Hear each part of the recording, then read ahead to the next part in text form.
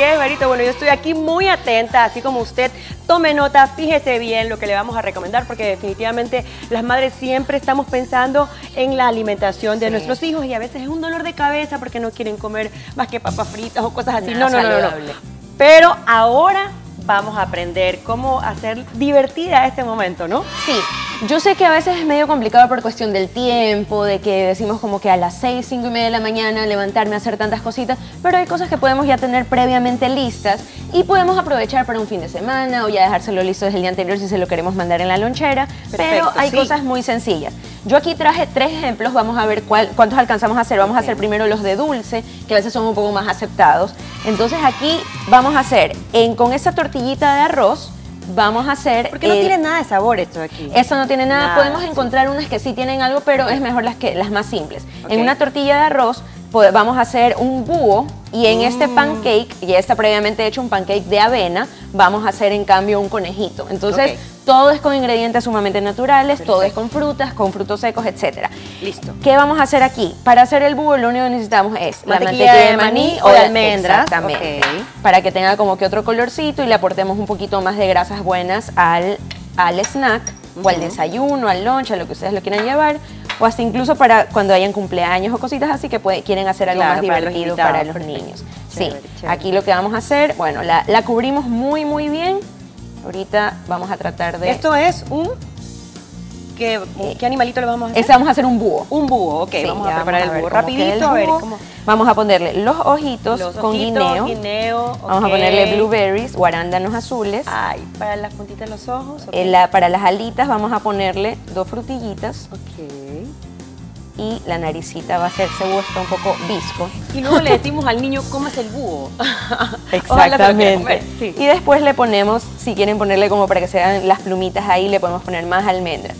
Entonces, todos esos snacks están siendo sumamente equilibrados y saludables para que el niño también pueda aprovechar en una misma comida muchos eh, distintos tipos de nutrientes. Las almendras son opcionales, si el niño no le gusta mucho el fruto seco no hay ningún problema. Eso te iba a decir, algunos niños comen frutos secos, hay otros raros como el mío que le encantan, pero eh, y por ejemplo si hay un niño que no les gusta el guineo, la cuestión es armar algo Exacto, divertido, algo que se vea como un muñequito. Y, que ellos también participen en eso. Pueden utilizar manzanas también Pueden utilizar manzanas, pueden utilizar eh, arándanos, pasas también. Pero ahí está la Exactamente. Ese es el primero. Ahora vamos a hacer un conejito que lo vamos a hacer en cambio, eh, le vamos a poner los ojitos así mismo, podemos usar guineo.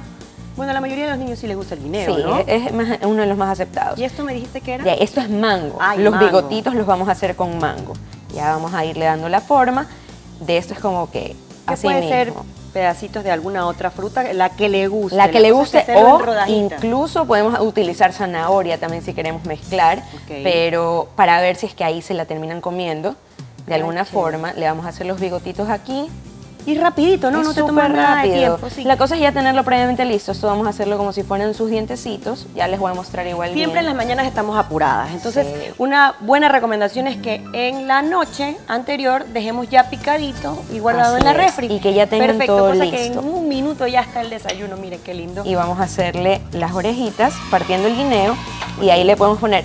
Lo ideal del pancake, lo mismo pueden hacer. Si no quieren complicar, si no quieren hacer el pancake, pueden tranquilamente hacerlo con eh, con la tortilla de arroz, igualito. O sea, tal como lo hicimos, vamos a desarmar esto aquí.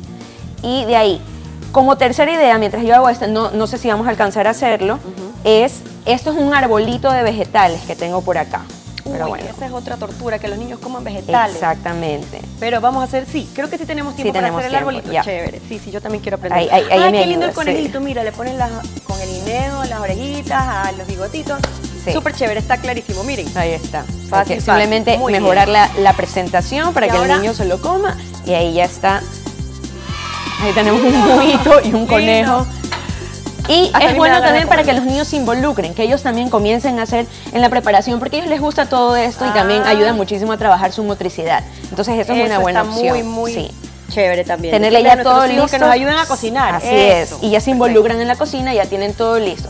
Eso es lo que vamos a hacer rapidito, lo vamos a armar aquí porque lo pueden hacer del tamaño que ustedes quieran. Esto va a ser, si puedes, ayúdame Silvia, sí, claro, a ver. Vamos armando. Esto es un tronco. Ah, el tronco. Lo vamos a ir haciendo hacia arriba. Sí. Y yo le voy a ir poniendo los brócolis, que es uno de los vegetales más complicados para que los niños coman. Pero ¿qué vamos a hacer? El brócoli ya está previamente, eh, lo vamos a tener previamente cocinado para que igual no esté tan crudo y lo puedan aceptar mejor.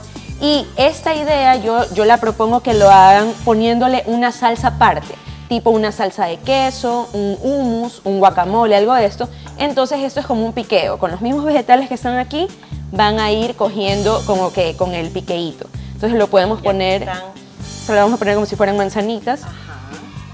Ay, qué chévere. La salsa de queso puede tranquilamente, le hacemos con el ajo, con todo lo que, con salsita y aquí hacemos como que un césped. Ah, ya, perfecto. Este es el otro toquecito. Ahí está. El bosque. Y aquí podemos hacer otro, así más mismo, podemos hacer- Perfecto. Tenemos Arbolito varias opciones, aquí están. Entonces las zanahorias las, utilizaríamos, las estamos utilizando como, eh, como tronco y los brócolis están siendo, Y ahí, ¿cómo Ahí que se se los puede. coma? Vamos a, a ver, aquí Que sí, sea- están las manzanitas.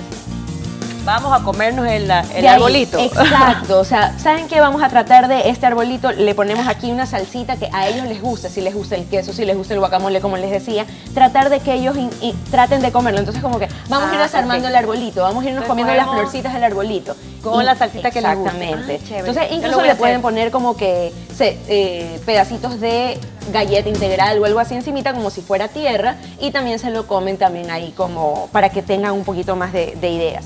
Perfecto. Entonces, la idea es eso, o sea, que traten de tener cosas variadas que ellos se involucren, porque la idea también, así sea que al inicio no quieran comérselo, pero el hecho de armarlo ya lo va familiarizando más con el alimento por y lo lo va a ayudar que se mucho coma más. el, el tomatito. Que se algo, coma algo, algo Cuando de me dicen es hijo no come nada de vegetales, yo les digo, con que coma dos vegetales ya tenemos bastante. Ok, ¿dónde te podemos encontrar? Ahí Mis redes sociales sí, son arroba nutripris, aparte, ahí pueden encontrar mi número de teléfono, mi correo electrónico para cuadrar cualquier cita o cualquier duda que tengan. Muchísimas gracias, súper chévere.